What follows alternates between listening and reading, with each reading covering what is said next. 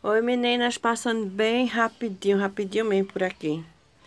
Pra mostrar vocês como é que eu faço esses cachinhos aqui na fita. Esse aqui não pegou muito legal não. Depois eu vou ajeitar, certo? Isso aqui, ó, esses cachinhos aqui na fita número 1. Certo? Eu pego um palito de churrasco mesmo. Pego a fita número 1 e enrolo aqui, ó. Não prendo com nada não, prendo com a própria fita. Assim. E vou enrolando. Certo? Enrolando, enrolando. No palito todinho, não precisa apertar muito não. Vai até onde vocês quiserem. Pode ser o palito todo. Pode ser a metade. O importante é fazer esses cachinhos aí. Eu não vou fazer o palito todo, tá? Corto aqui. E venho com uma chapinha. Se não tiver chapinha, pode usar um ferro de passar roupa. Mas a chapinha, ela é mais prática. Esquenta bem a chapinha e vai passando assim, ó. Aqui. Aqui assim.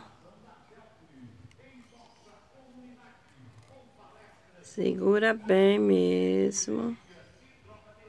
Vai passando. Tá vendo? Aqui assim. Olha aqui. O carro de som vai passar aqui na rua. Ai, foi pra longe. Aqui, ó. Pronto. Tem que estar tá bem quente a chapinha, tá? É mais prático do que o ferro, eu acho. Não gostei muito do ferro de passar roupa, não. Tem que botar assim, passar o ferro por cima. Aqui não, é que a gente suspenda, já vai passando. Pronto. Coloca a chapinha aqui. E vou tirar. Eu vou fazendo isso, rodando, subindo com a fita e puxando o palito e rodando.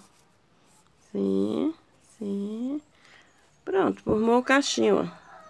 Pra ficar mais firme, bem durinho, depois que fizer os laços, ou assim mesmo, coloco um spray nele que ele fica bem firme. Certo? Olha aqui esses. Esses daqui que eu fiz nesse laço. Pronto, gente. Só uma dica aí para uma menina que me pediu, perguntando como é que eu fazia esses cachinhos do, dos laços com a fita número 1. Um. Aqui, esse daqui eu também fiz assim.